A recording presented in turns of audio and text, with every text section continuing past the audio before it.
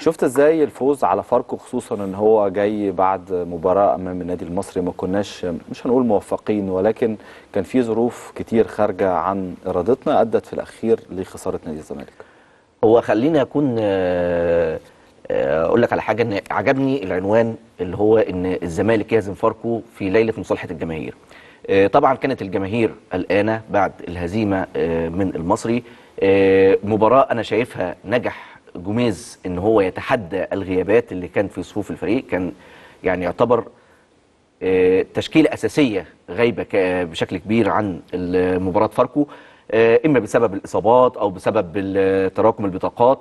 آه، طبعا أنا شايف إن المكسب إن هو في ظهور مجموعة من الناشئين. طبعا اكتساب الثقة لعمار ياسر ومحمد السيد طبعا دول هنشوف ليهم مستقبل بعد كده وده طبعا آه، زي ما كنا قلنا قبل كده في حلقة من الحلقات إن نادي الزمالك مليء بالمواهب والناشئ وقطاع الناشئين محتاج نظرة وفعلا آه، تم إلقاء نظرة على هذا القطاع اللي هو آه، من الممكن إن يبقى فيه لعيبة تانية غير محمد السيد وعمار ياسر الفترة اللي جاية. أثبتت أثبتت مباراة فاركو إن عندك صف تاني قادر على تعويض العناصر الأساسية والصف الأول. آه، أثبتت برضو إن عبد الله السعيد أثبت إن هو آه، استعاد آه، ذاكرة التهديف من جديد ودي الهدف اللي سجله في مرمى فاركو. آه، ده آه، أكيد بالتأكيد إن هو هيديله دفعة لمواصلة التألق فيما فيما تبقى من مباريات هذا الموسم.